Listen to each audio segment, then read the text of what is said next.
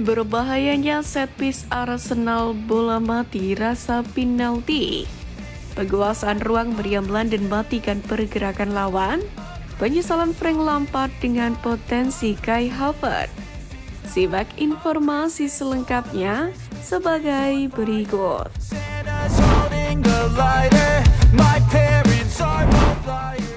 Arsenal dapat dikatakan menjadi salah satu klub terbaik di dunia, terutama dalam mengeksekusi set piece alias bola mati pada periode saat ini. Anggapan tersebut bukannya tanpa alasan, mengingat Arsenal telah mencetak banyak gol lewat bola mati dalam beberapa musim terakhir.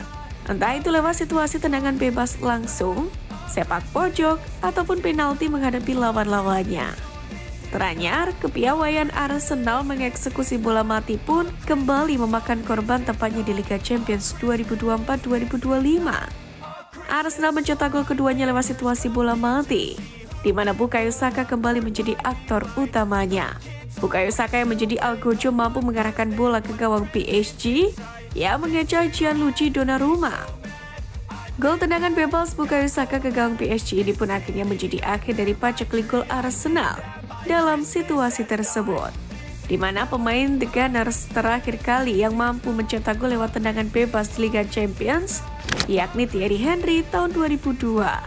Lebih lanjut, gol tendangan bebas Bukayo Saka ini barangkali jadi salah satu bukti kian berbahayanya kualitas set piece dari Arsenal. Pada musim ini saja Arsenal setidaknya sudah mencetak beberapa gol ke gawang lawan melalui situasi bola mati. Sebelum mencetak gol lewat skema bola mati melawan PSG, Meriam London sudah melakukannya ke tim lawan lainnya. Sebut saja melawan Tottenham dan Manchester City, yang keduanya dieksekusi oleh Gabriel Magalhaes, yakni lewat sundulan setelah memanfaatkan sepak pojok. Lalu saat mengalahkan Leicester City, secara dramatis pada akhir pekan lalu, gantian Leandro Trossard yang menjadi aktornya. Melihat betapa berbahayanya kualitas set piece Arsenal ini, Rasanya tim mana pun harus waspada setiap kali Meriam London mendapatkan bola mati. Sementara itu dilansir dari Sportstars sejak 2021. Meriam Merah telah mencetak total 45 gol melalui situasi ini. Pada musim lalu saja, Meriam London menjadi tim yang paling produktif mencetak gol lewat situasi tersebut dengan total 16 gol. Khusus lewat situasi sepak pojok, Arsenal setidaknya sudah mencetak total 30 gol dalam dua musim terakhirnya di Liga Inggris. Untuk itu mengacu pada data tersebut tak salah jika menyebut set piece menjadi salah satu senjata Arsenal untuk mengalahkan lawannya. Sementara itu di pertandingan melawan PSG kemarin, penggemar bermata elang pun sempat menangkap momen Gabriel Magalhaes memberikan sinyal pada bola mati rahasia. Itu terjadi tepat sebelum gol Saka dari situasi tersebut pada menit ke-35. Umpan silang Saka dari sisi kanan melebar ke tiang dekat melewati kerumunan orang dan melewati kiper PSG Gianluigi Donnarumma untuk menjadikan skor 2-0. Sesaat sebelum bola mati itu dilakukan, back Arsenal Gabriel terlihat memberikan isyarat. Pendukung Arsenal yakin bahwa Gabriel diam-diam memberitahu rekan satu timnya itu bahwa bola Saka datang rendah. Lebih dari itu, dalam dua tahun terakhir ini Mikel Arteta juga berhasil mengubah Arsenal menjadi tim yang mampu mendominasi di seluruh fase permainan. Jika formasi mereka menekan secara agresif, mereka bermain melewati lawannya atau langsung mencoba memenangkan duel udara atau bola kedua. Namun jika lawan bertahan dalam melawan mereka, mereka memiliki bakat individu dan pola serangan untuk menghancurkan unit yang paling tangguh sekalipun. Dan jika tekanan serangan mereka membuat mereka menjadi bintang, itu bahkan lebih baik mengingat keterampilan gabungan Arsenal. Di sisi lain, Arsenal juga bisa dibilang merupakan tim dengan penguasaan bola terbaik di dunia. Tekanan tinggi mereka akan menghancurkan lawan mereka sampai mati. Mereka dapat bertahan di lini tengah dan organisasi pertahanan mereka hampir tidak terkalahkan ketika mereka bermain bertahan. Arsenal sendiri memang tim yang sering merepotkan PSG. Tercatat, kedua kesebelasan ini sudah lima kali bersua. Dan dalam lima pertemuan itu PSG tak pernah menang atas Arsenal. Rinciannya, PSG kalah dua kali dan imbang tiga kali setiap jumpa Meriam London.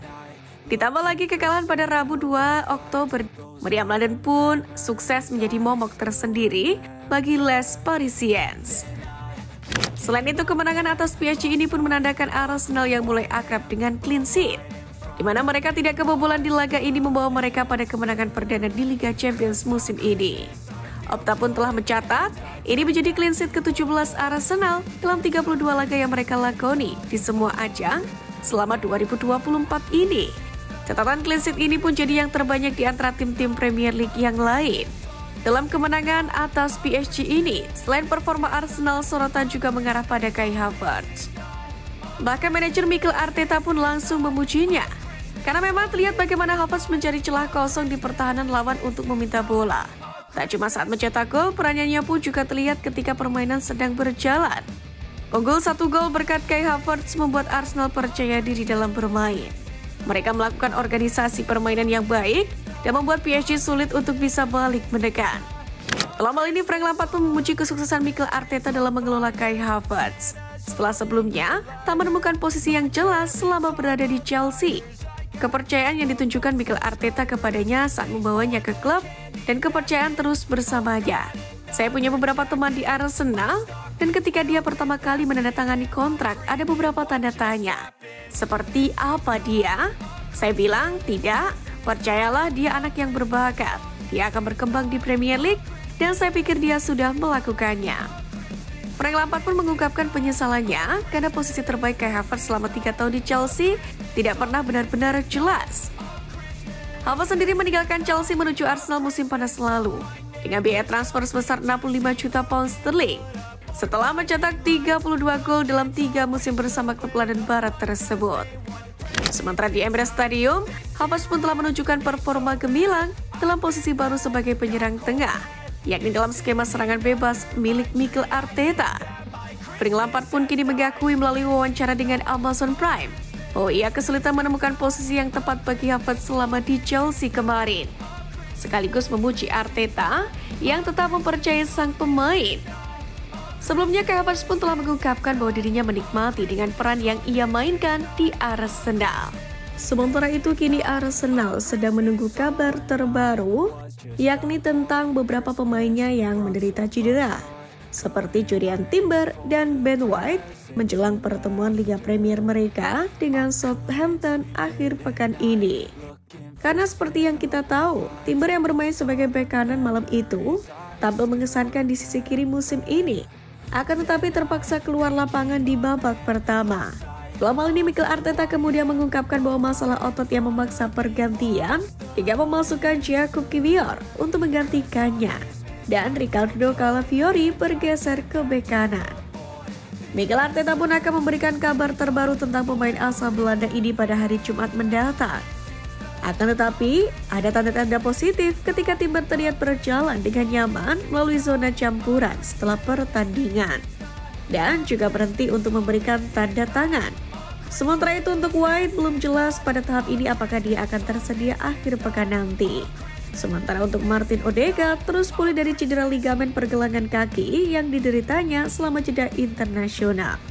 Lalu kemudian Takehiro Tomiyasu pun juga tengah meningkatkan kemampuannya, yakni untuk pulih dari cedera lutut dalam latihan karena Alexander Zinchenko dan juga Kieran Tierney masih akan absen. Sementara itu pertandingan Arsenal versus Southampton sendiri akan diselenggarakan pada 5 Oktober mendatang. Dan laga ini pun akan menjadi laga kandang bagi Arsenal.